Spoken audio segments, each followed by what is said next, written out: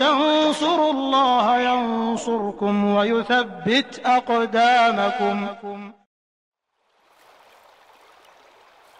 keterangan dari para ulama ahlu sunnah wal jamaah orang-orang yang diterima ibadahnya di bulan Ramadan sebagaimana ibadah yang dilakukan di waktu-waktu yang lainnya tanda-tanda atau ciri-ciri diterimanya adalah taufik dari Allah Subhanahu wa taala untuk dia tetap istiqomah menjalankan amal soleh setelahnya.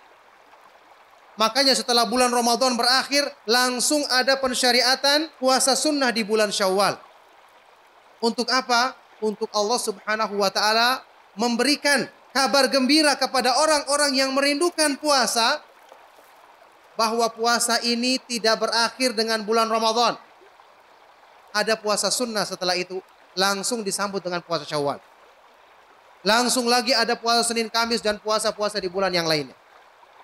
Berarti tujuan disyariatkannya ibadah di bulan Ramadan adalah untuk istiqomah di atas amal, terus-menerus dalam kebaikan.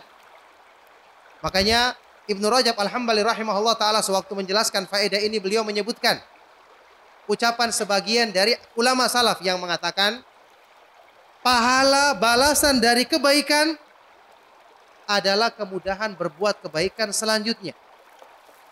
Maka barang siapa yang melakukan satu kebaikan, kemudian dia menyusulnya dengan kebaikan berikutnya. Semangat berbuat kebaikan selanjutnya. Itu merupakan bukti, merupakan tanda kebaikannya yang pertama diterima oleh Allah. Tapi siapa yang berbuat baik setelah itu putus kebaikannya. Diganti dengan keburukan, kebaikannya musiman.